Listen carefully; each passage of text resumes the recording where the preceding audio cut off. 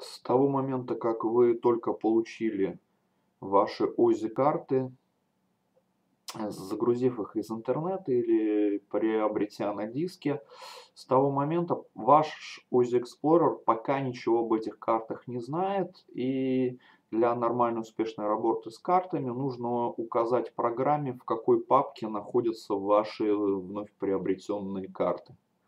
Значит, для этого заходим в меню «Файл», шестая строчка сверху, меню «Change Image File», нажимаем и вторая позиция. Указываем программе, где находятся ваши вновь приобретенные карты. Значит, указываю свой локальный диск D. УЗИ карты. Окей. И делаем точно такую же перестановку. Второй раз указываем еще раз, где оно находится.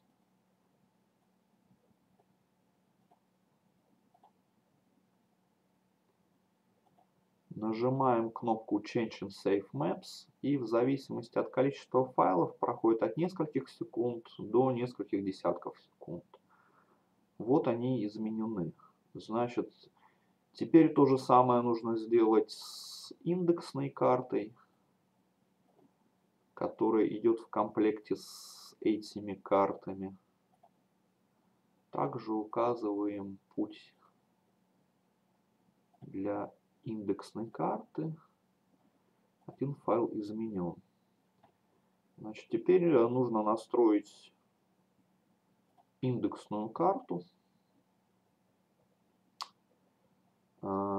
Для этого, перед тем, как настраивать индексную карту, очень важно отжать вот такую небольшую красную кнопочку, кнопочку с красным крестиком, да, э, дабы избежать дальнейшего геморроя. Просто запомните, тупо запомните, что эта кнопка должна быть отжата.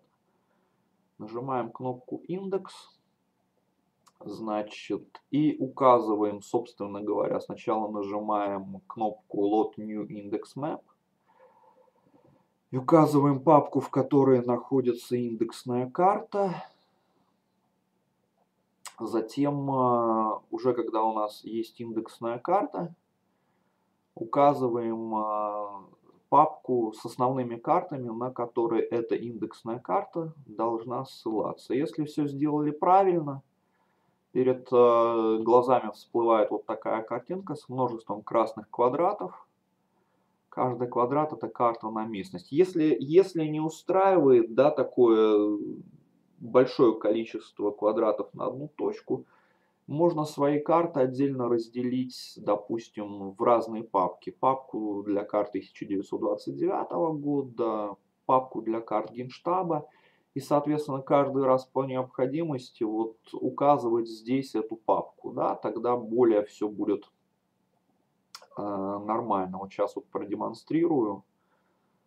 Допустим,